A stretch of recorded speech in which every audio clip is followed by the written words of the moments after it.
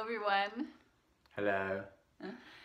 So Angus and I were having dinner with our daughters the other night, and we ended up um, having a conversation about dating and things like that. And I got accused of being nosy because I was trying to see if there was anything happening in their lives on that front, and they are adamant that it isn't.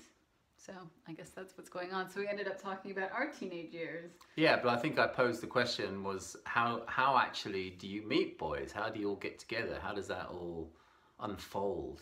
At, you know, in this day and age, and because they weren't very forthcoming, it, the tables got turned on us, or me in particular. and I was talking about how back in my day, back in the dark ages, um, we used to have things like school discos. And I, and I was like, school discos. Yeah, discos was the thing. Uh, discos where was where it was at back in the seventies. But that wasn't the most shocking thing about your discos. Oh yeah, it was. It was the fact that um, that the way that you um, and, and and the way and the term that was used, got off with a girl.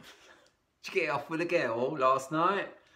Was that you would wait for that moment in the evening when the DJ would play uh, a slow record, and then you go rushing up to the girl that you liked and ask them to dance, and then if they liked you back, then uh, then you would start snogging.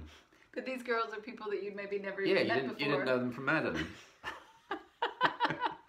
and the funny thing about that was that you could actually, uh, on some occasion, be engaged in this very uh, ferocious act of snogging. And then the, the record would finish, and then you would just say, Thank you very much, and walk off back to the other side of the room. How very British of you. I know it was very British, but surprising, you know, this is surprising level of intimacy followed by this surprising level of disconnect. But then you did get your heart broken. I did, I did in no uncertain terms, and um, I still, I still, I still feel hurt Sorry, I by it. didn't mean to make you cry, Angus. Those memories still keep flooding back. No, it was this. Uh, it was at the school disco, and at the time I was this sort of chubby little youth who was constantly made fun of because I don't think I'd really gone through puberty at that point. Oh, I think I was about fifteen, and everyone used to make fun of me. I was short, I was fat, and uh, I Baby didn't. face. Baby face. I was called baby face, which I think was abbreviated to baby. It was. It was abbreviated to baby. Um, but anyway, I did grow finally. All you people out there who are mean to me. Um, but there was this girl that I that, that, that I went over to ask to dance, and, and luckily for me, she said yes. And even more luckier for me, she actually uh, wanted to kiss me. I mean, I don't. It wasn't like. Um, I mean, it was. We don't need the details. There were no we don't need the details. Stop. We just basically sucked each other's faces for about five minutes Okay. for the duration of the record, and then for about I don't know f- uh, about an hour afterwards. Anyway, I thought it was love and fireworks, and then uh, when you know when I called her up about a week later, and I had to get her number off her, her brother who was also at the school. I called her up a week later, and um, I started off the conversation by saying, "What did you think about the other night?" And she's like, "It's all, it was all right." and it was just such a crushing, deflating, Aw. awful experience, and she was horrible. And um, I got off the phone and thought, I'm never going to do that again. And um, and I think I didn't think I did that again until I was about 28. Call a girl. but no, funny enough, um, some while later, when I actually grew to a normal size for my age, and then I met this girl who I liked, and uh, I wanted to call her up and ask her out on a date. Um, I was so afraid to do that that I got my best friend John to do it, and he called her up instead of me. and what's funny about that is John has a very, or had a very gruff personality, and and um, and was had absolutely no thinking on doing that, and just agreed to it right away. But he would have rung her up and said, "Hello, do you want to go out on a date? I'll pick you up at eight tomorrow night." And that would have been the extent of it. And luckily, she said yes, and we ended up going out. But um, oh, I was terrified of calling girls. It was just I would get into a cold sweat about that. It was awful. It was just as well that I asked you out.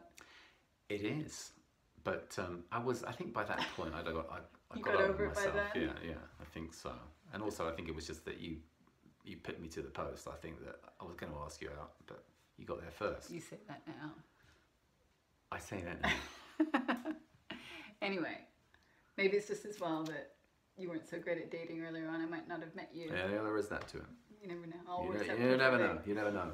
But what you're talking about, all that insecure thinking that people get caught up in, that's why there's all these kind of dating manuals and books and programs because it's like how, how else are we supposed to deal with those thoughts? It's like they come up with a technique to try and manage them. And and ultimately though, really, once we sort of let go of that thinking or see that it's just thought, we're able to hear our own inner wisdom and that's what guides us. Like when I asked you out, it was just common sense. I met you, I liked you, I knew that you weren't going to be in town for long because you were traveling. And so I thought, oh, I'll ask him out.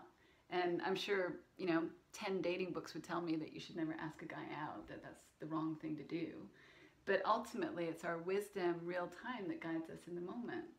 Yeah, yeah, and, then, and there's all sorts of techniques out there to overcome that situation. And the one that springs readily, readily to mind is the the idea that you should feel the fear and do it anyway.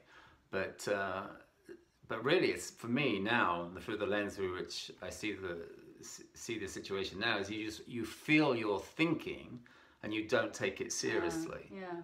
Because feeling the fear that doesn't you know the, fear could be so huge that it'll prevent you from doing anything. It's all very well to say oh feel the fear and do it anyway.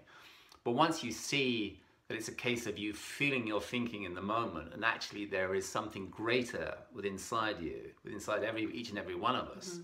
you know this sense of our own wisdom that will guide you through every each and every situation each and every obstacle that you may confront in whatever scenario. In this case it's in the dating scene the idea that you can actually just get a sense that it's only your thinking and it's only your thinking that's holding you back and that, that, that you will actually negotiate your way through whatever fate throws in your way and uh, and and you'll get through it And even with what happened when you had all that thinking, your wisdom still managed to figure out you know that was an, that was a great call. that was a great solution Yeah. yeah And wasn't she your first girlfriend? she was my first girlfriend Yeah.